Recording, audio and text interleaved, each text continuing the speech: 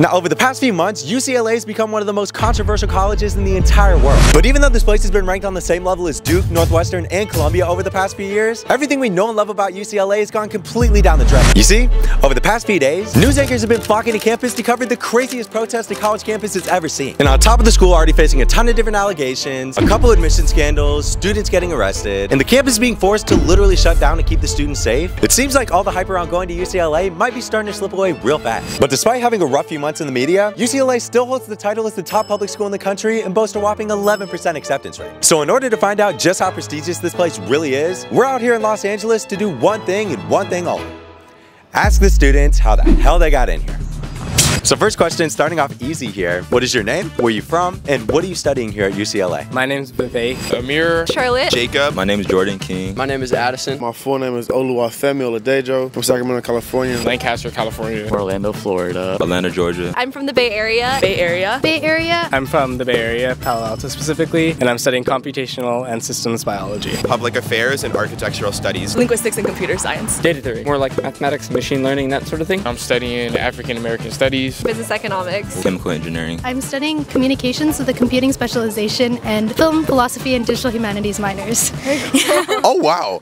Holy shit. Okay. Good for you guys. And was UCLA your first choice of a college? Um, yeah. Yeah. Yeah. Yeah, we'll go with that. No, it wasn't. No, but it was pretty high up there. No, it's not. I actually transferred here from uh, UC Berkeley. Really? Interesting. Okay. It wasn't my first choice, but it was definitely up there. I think I was kind of deciding between different options that were like very different, like East Coast versus West Coast. I got into like Berkeley, UF, um, UNC Chapel Hill, Georgia Tech, Northeastern. I would say some of the Ivy League schools. Stanford, of course, it was close to home. I really wanted to go to Stanford because it's nearby home, but didn't get in there. But no, MIT.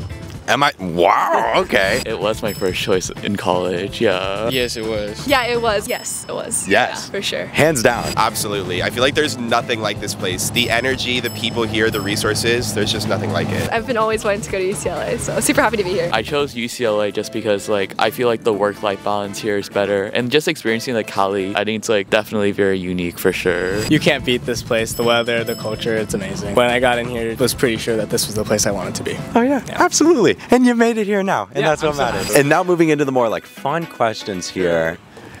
Yes, yes. Let's go. Let's do it. What is the weirdest interaction you've had with another UCLA student? The weirdest interaction. Sheesh, I don't know. Weirdest interaction I've had. Tricky. Wait, give me a second to think about this. That's what I gotta think about. Weirdest interaction. I've had a few. I mean, there's been a lot of weird ones. Between walking in on like my roommate having sex to like fucking. I don't know if they were a UCLA student, but it was literally on Bruin Walk. And this guy stops me. He asks, he's like, oh, like, where's the library? And like, as I'm pointing to where the library was, this dude put shampoo in his hair. I mean, there's like usually just like carrot guy that goes along Bruin Walk. He wears like a carrot costume and he carries like carrots around him and he gives carrots to students. Like somebody dressed in like the plant suit and hiding in a bush and jumping out at people. We've gotten the plant guy today and a carrot guy. We're checking all the boxes. And it's like, oh, like, and it's like starts like actually like washing his hair while like he's talking to me. And he's like, oh, like, can you help me out? And he hands me his water bottle and he has me pour it on his head, like in the middle of Bruin Plaza, just has me pouring water on his head. I even took out my own water bottle because like, bro, I'm not gonna just let you sit over here with, with shampoo, so I'm pouring more. He just was just like, all right, cool, like, thank you, and then walked off.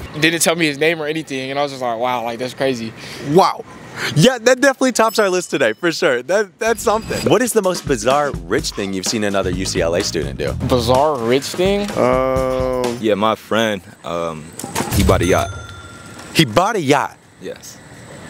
What? Care to elaborate? I just heard a story about how someone's roommate's parents accidentally transferred them $40,000 instead of $400 and didn't notice. And so they just have $40,000 now. I seen an international student like pull on, just pull up in like a Ferrari, and I was just like, damn, they got it like that. I was like, I was like, okay, all right. yeah, I was just pull up the nice whips, their parents' money, you know. we have some famous students, and so they have like lots of industry events. And I know for one of my friends, we had a car service come pick us up. So like a chauffeur came and picked us up at my dorm and took us to Disneyland for free. So that was pretty fun. Wow, that's awesome. Well, he bought a yacht in a Tecnomar 63. A Tecnomar 63 is a Lamborghini boat. Holy shit. And he goes here. Yeah. Wow. Well, I think that's safe to say that definitely tops our list today for sure. And now getting into the more academic questions here. What do you think is the number one study tip that helped you get into UCLA? That's a good question. Um, Oh, this is tough to be honest, because I'm not really a good studier. Getting into UCLA is like no small feat. I think for me, being part of leadership, it's not necessarily a study tip, but I do think that like that's a really important thing. I think I really prioritized making sure my GPA was high because I know UCLA really prioritizes GPA. usually like after like class and all that, I'd always like go over my notes again. Probably explaining things to others. Continually doing that and trying to make it simpler. Be friends with someone like that guy. Dude, oh my gosh, he saved my life. I think it's just to stay on top of your work, not procrastinate. Being on top of time management because college applications are so much work. Really what helped me was just staying on top of things and trying not to like let procrastination get the best of me. I think just taking time to get to a quiet place. You can't be around everybody. You know, you gotta find your quiet space, get the lo-fi music going and study. That's all you gotta do, just study. Yeah, Just study. just study. That's the key right there, yeah. so obviously, you got into UCLA, which means you had some pretty decent high school stats. Yeah, yeah, yeah. I, you know, yeah. So, what was your GPA, your test scores, and were you in any extracurriculars in high school? Well, to give context, I did 22 APs in high school, and then on top of that, I did 14 college classes on top of like the 22 APs. Holy shit, damn, dude, that's crazy. So my GPA was a 4.0 unweighted. 4.0. 4.0. 4.0? I'm pretty sure, yeah. My GPA was around 4.3 or something weighted. 4.3. 4.67. I had a 5.4, 4.6. I actually like graduated like top 1% of my class, so I like I was ranked one.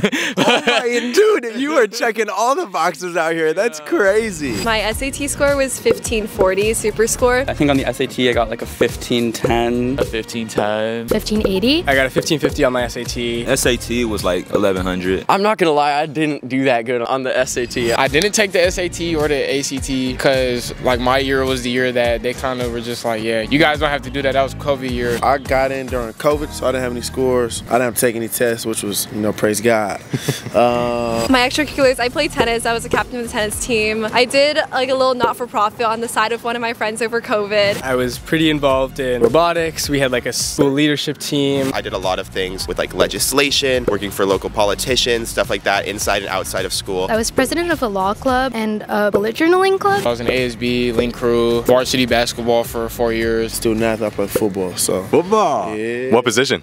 linebacker. Like, oh, okay, okay, nice. I was actually on the football and basketball team for military school and the school I went to in Arizona called Perry. That's where Brock Purdy was at. Yeah. Oh, look at that. Did you ever meet him? I was on the team.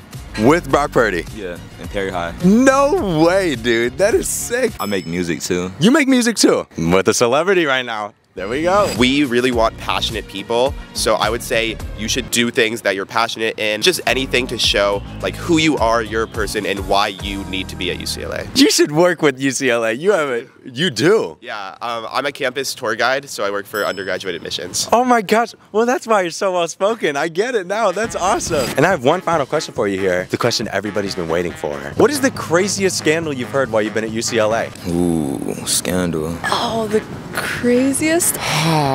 Biggest scandal. Yeah, someone ate poop for $200. What? Ate poop.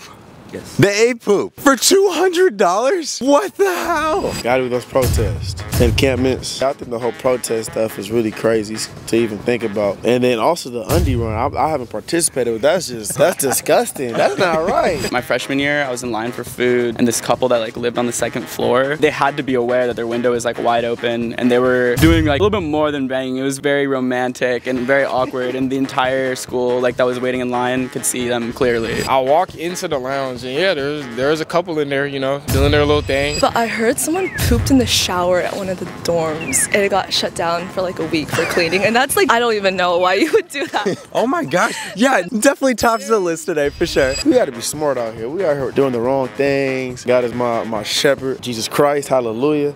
Uh, but yeah, man, y'all know what it is. Amen, dude. Amen. Here we go. Yeah. Oh, oh. yeah. And then you gotta come There here. we go. There we go. Hey, yes.